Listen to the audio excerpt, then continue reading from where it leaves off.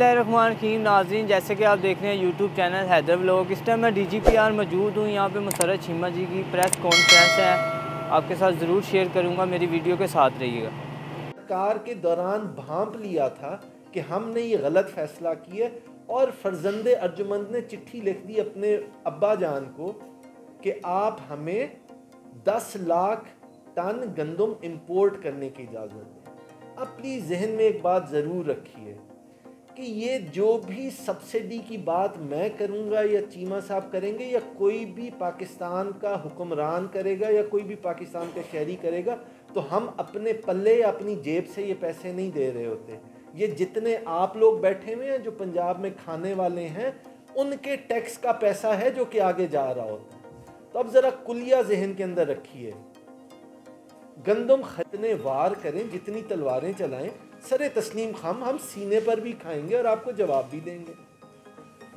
आप मेरे प्यारे भाई, अपने उन गुस्सों का इंतकाम पंजाब की आवाम से लें तो मेरा ख्याल है कि ये इंतहाई बड़ी बदयान आपने पंजाब के लोगों की खरीदी हुई बाईस सौ रुपये वाली गंदम जो कि सूबे के एक्सचेकर को कितने की पड़ रही है? तीन हज़ार की। इसमें आठ सौ रुपया टैक्स का आठ सौ रुपया बैंकों को इंटरेस्ट जाता है।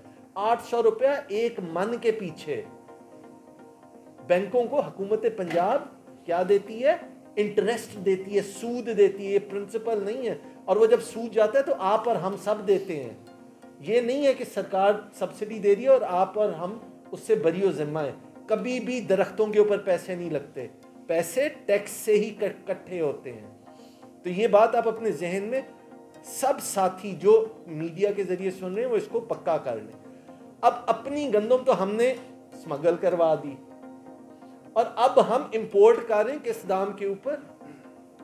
अच्छा वो जो मैं कोता निगाही की बात कर रहा था, वो ये है कि जब तक वज़ीर आला थे हमजा साहब, तब तक तो देनी थी पास्को की डोमेस्टिक गंदम। अब आ गई है जी इमरान खान साहब की और परवेज इलाही साहब की हुकूमत। तो यार हमें तीन महीने ये घसीटते रहे हैं। कि नहीं जी, आपको तो हमने गंदम देनी नहीं है। फैसला आपने गलत किया। लोगों की खुराक का मसला है। कोई खुदा का खौफ करे। सूबे के पास अपनी गंदम सरप्लस थी। किसने आपको कहा था कि अपने लोगों की दिहाड़ियाँ लगवाएँ? और ये दिहाड़ी लगाने की इनकी बहुत पुरानी प्रैक्टिस है। रुपए पर रिलीज़ कर दी और अगले दिन दो हज़ार रुपए में खरीद के गोदामों में रख ली। सो आप कह लें ये आखिरी दिनों में ये इस तरह की कोई दिहाड़ी लगाते हैं, आप आप कह लें पाँच, सात अरब, दस अरब की एक दिहाड़ी लगाते हैं बाकायदा, ठीक है? अब साढ़े तीन लाख टन आपके गंदम, गोदामों में गंदम मौजूद है according to the dashboard of federal government food security Pakistan का, उसके मुताबिक। और वो कह रहे हैं कि नहीं है, लिहाजा उससे पैनिक फैला। एक मतलब आप अब तरती आप कह लें कि वन टू थ्री करें। नंबर एक, उन्होंने चार हज़ार का जो अनाउंस किया, उससे प्रॉब्लम हुआ। प्राइवेट गंदम महँगी हुई। नंबर दो ये कि उन्होंने गंदम प्रॉपर रिलीज़ नहीं की। नंबर तीन जो है, उन्होंने अनाउंस किया कि पाकिस्तान में गंदम नहीं है। पंद्रह के बाद हम नहीं दे सकेंगे। पैनिक फैला तो सारे सूबों में भी टाटा और चौदह परसेंट, पंद्रह परसेंट इसमें चौकर। ये परफेक्ट आटा है, इसकी क्वालिटी ठीक है, इसकी हर चीज़ ठीक है। इसमें ये जो आप कह लें कि लोग चक्की का आटा सस्ता क्या नाम है, हास आटा, सुच्चा आटा, ये ब्रांडेड चीज़ को महँगी करके ख़रीदनी हो तो आपकी मर्ज़ी है। लेकिन जो भी मिडिल क्लास के लोग हैं, वो आप कह लें कि बेचारे अपने पेट काट के महँगा आटा प्राइवेट ना ख़रीदा करें। परफेक्ट आटा जो है, वो फ्लोर में रखे है। ये डाटा है फेडरल गवर्नमेंट का 6 जनवरी का। इसके मुताबिक, जो मरकज़ ने गंदम देनी थी सूबे को, तिरानवे परसेंट गंदम दे चुका है मरकज़ सूबे को, सिंध को। बाकी लोगों को मरकज़ दे रहा है पचास परसेंट, पचपन परसेंट, साठ परसेंट, बासठ परसेंट। आर्मी को जी जीबी को आप कह लें कश्मीर को के पी को, बलूचिस्तान को, मरकज़ ने या पासको ने जो गंदम दी है, पचास से लेकर साठ परसेंट। सिर्फ़ सिंध है जिसको तिरानवे परसेंट उन्होंने गंदम दे दी। और जिस दिन उन्होंने अनाउंस किया है, उस दिन उनके पास तकरीबन साढ़े तीन लाख टन गंदम मौजूद थी। उन्होंने कहा, हमारे पास नहीं है। आज की डेट में उनके पास तीन लाख अठतीस हज़ार टन गंदम पड़ी है। ठीक है?